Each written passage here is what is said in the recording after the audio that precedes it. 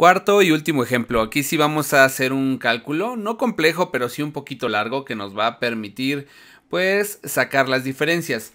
Si en tu ejemplo lo que tú quieres es determinar qué valores si hay diferencia y en cuáles no, pero dentro de otra hoja independiente, una de las opciones que yo te puedo ofrecer es utilizar la función sí y determinar cuando estos valores tengan diferencias y cuando no los tengan. Vamos a hacer lo siguiente. Entonces vamos a escribir en una nueva hoja de cálculo en donde tengamos los 10 libros y ahí vamos a hacer la comparación. Vamos a utilizar la función si y aquí en la prueba lógica yo le voy a decir que si la celda del mes de enero es distinta, acuérdense de distinta es anteponer el signo menor que con mayor que, es distinta a la celda del mes de febrero, que sería también esta. Entonces esta sería nuestra prueba lógica, coma, vamos a hacer lo siguiente. Le vamos a decir entre comillas, enero, dos puntos, cerramos las comillas y lo vamos a unir con el valor de la celda del mes de enero, que en este caso sería esta. Listo. Ahora, nosotros vamos a unir esto con la función carácter y la referencia 10, que es un salto de página. ¿Esto qué va a hacer? Que vamos a aparecer en una línea el valor que tengamos en el mes de enero y posteriormente otra línea en el valor del mes de febrero. Ahora sí, después de que ponemos carácter 10, que es nuestro salto de página, le vamos a decir que en este caso también entre comillas nos dé el valor del mes de febrero. Dos puntos.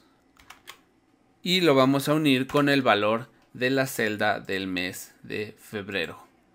Listo, ahora sí, Vamos a cerrar el argumento que es valor si verdadero, coma, y en el caso de que no haya diferencia, pues le vamos a poner el texto, entre comillas también, sin cambios. Ahora sí, tenemos la función.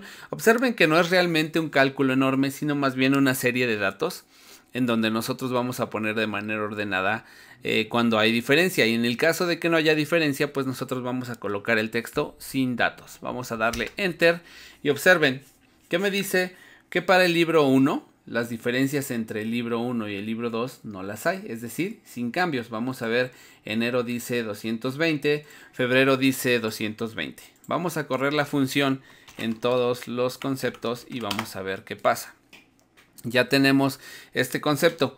Aquí esto en el libro 3, 6 y 9, que es donde hay cambios, parece que los datos no se ven adecuadamente, pero para eso yo agregué este concepto que dice carácter 10, que me da un salto de página. Eso me va a permitir que si yo le doy aquí en ajustar texto, ese salto de página se haga presente. Vamos a ver, le damos aquí y listo.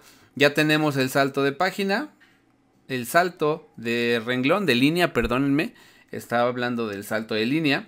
Y entonces, pues vean, ya tenemos eh, de manera ordenada los datos, es decir, en donde sí hay cambios, pues me va a decir, eh, en enero tuviste 425 y en febrero tuviste 342. Me va a reiterar de manera ordenada los libros en los que los precios sí cambiaron y entonces yo voy a poder determinar rápidamente y visualmente las diferencias que hay entre uno y otro. Pues bien, espero que alguno de estos conceptos les sirva. No siempre para cruzar datos es necesario utilizar o estrictamente necesario utilizar la herramienta de buscar V o en este caso buscar X, que es la que este, ahora tenemos en Microsoft 365, sino que nos podemos hacer de otras herramientas para poder hacer esto manualmente cuando sea necesario sin, sin, utilizar cálculos o un último cálculo como este para poder determinar más datos de acuerdo a las necesidades que tengamos. Pues bien, si ustedes conocen algún otro método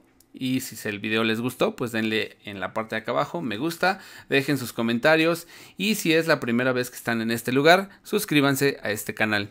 Esto es Microsoft Excel a todo nivel.